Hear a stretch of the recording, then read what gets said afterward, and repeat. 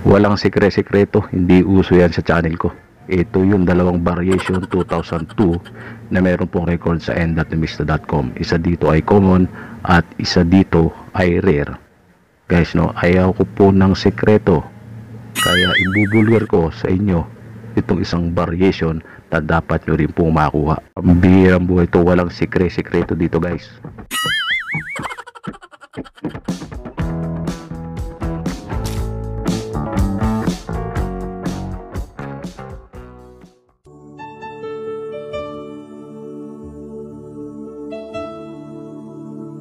Hey guys, so welcome back to my channel Kalibay 09 Bago lang tayo magtuloy-tuloy, huwag kalilimutan mag-subscribe at mag-join kayo, lagi po yan pinapaalala sa inyo. Mag-join na kayo sa ating membership para makapasok kayo sa group chat ng Kalibay 09 Hunters. Alright guys, punta muna tayo dito saglit, reviewin lang natin saglit sa end.mista.com kung ano pong merong record yung sinasabi natin nga dalawang variation at merong isang variation na kailangan nyo pong malaman. Dahil dapat, syempre guys, wala akong sikre-sikreto. No? Bawal sa atin yung uh, sikre-sikreto na yan eh. Pag tayo nakakuha ay sinishare ko agad yan sa inyo. Okay, ito po yung uh, year 2000 to yung ating uh, barya. No? Tatlo yun eh. Pero ang record dito sa ngayon ay ito pong year 2002 na 29% reverse 1C.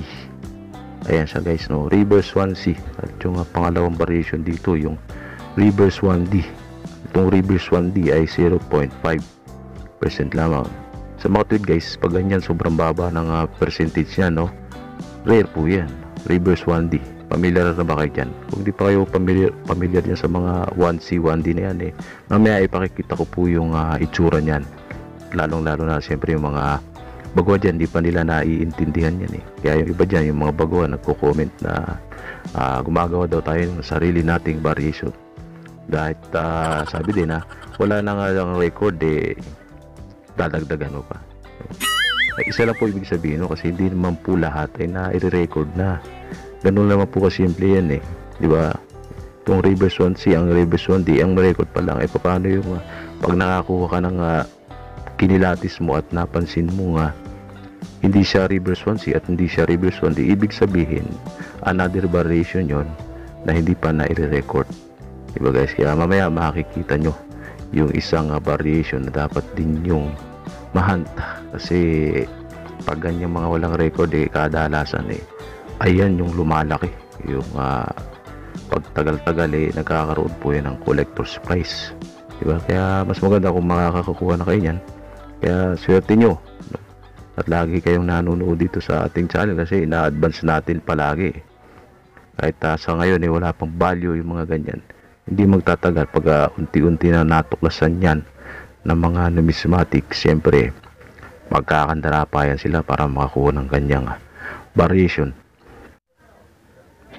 Okay guys no? so isa-isahin na natin ito. Unahin natin yung uh, pinakang common sa tatlong ito. Tanggalin muna natin sa kanyang capsule para mas makita ninyo.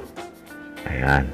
Ito guys yung uh, unang record no yan makikita nyo year 2002 at uh, maganda pa ang kondisyon nitong ating uh, hawak at uh, iniingat-ingatan natin. Ito po yung uh, ayusin lang natin no? ito po yung reverse 1C ayan 29% susum natin. At uh, mayroon kasing hanapan ng angulo ito. At kailangan kasi nating makita ng mabuti yung stars. Ayan po pansinin nyo lang yung stars na yan. Reverse 1C, ayan po yung uh, sinasabi nilang uh, pag C eh, medium sharp pointed stars. Ayan. So mapapansin nyo naman, medium sharp na po siya. 29% ito po yung uh, pinaka-common at sa uncirculated ay 59.57 na ang uh, palitan yung kanyang value sa end.nemista.com reverse 1C medium sharp pointed stars po yan ayan so sa mga baguhan ano kung nalilito kayo uh, review nyo lang sa mayen.namisto.com search nyo sa google at uh, basa-basahin nyo lang doon para maintindihan niyo at yung mga previous natin mga video panoorin nyo lang po para kasi may mga tinatalakay na tayo tungkol sa mga ganito eh. Diba guys? Ganyan na. Yung pangalawang variation to kunin natin at ah, tanggalin muna natin ulit sa kanilang uh, capsule. Alam nyo guys halos pa rin ang kondisyon to yung nauna no, yung reverse 1C natin. Ito po yung ah, pangalawang variation na meron ding record guys no? Pero hindi ito basta basta kasi may record siya pero napakababa po ng ah, percentage nito eh. Ngayon sa kasalukuyan eh ay siya year 2002 din. 0.5% reverse 1D pansinin nyo agad yung stars yung nasa baba lang na stars na para hindi na kayo malilito. Ayan. Reverse 1D yan. At ah, may angulo yan na talagang pag tinignan mo. Ah, pag sinabi kasing reverse 1D yung po yung ah, extra sharp pointed stars na siya. Hindi na siya medium. Ibig sabihin extra sharp mas matutulis yung kanya mga kanto no? Ah kumpara doon sa medium lang yung kanina di ba ayan so guys nakita nyo. Di po ba reverse 1C and reverse 1D at uh, swerte kahit pa paano meron na akong ah, reverse 1D na 0.5% di ba? Kasi mahirap makakuha ng mga ganyan guys. At ito yung ah, secret number na natin. Dapat yung makakuha to. Dapat yung makilati siya nga pag nakakita ko ng year 2002 at maganda pa ang kondisyon nito guys. Yan.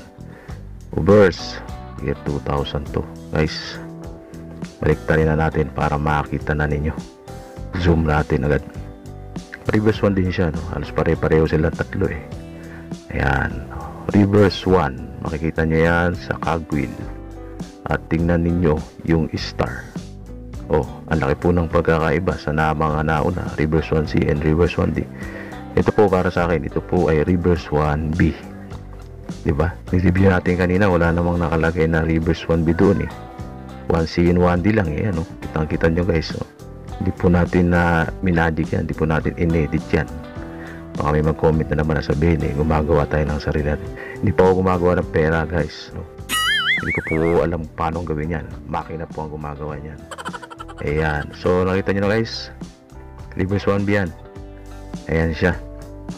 Uh, tsaka pala paano nga ba natin nasabing reverse 1B yan yung description pala guys ng uh, reverse 1B yun po ay uh, uh, sinasabing uh, pointed lang no? pointed stars lang no? at uh, pag ni-review mo siyempre yung A may A yan eh, A, B, C, D yan eh. Yung A yung po ay plumeria shape yung star doon. Tapos B pointed stars yung C extra sharp pointed stars at yung D ay no C medium sharp sorry no C medium sharp pointed stars at yung last yung D ay uh, extra sharp pointed stars. Yung po yung may pinaka mahahaba at matutulis na star. So ayan naipakita na natin sa inyo. Malinaw guys no?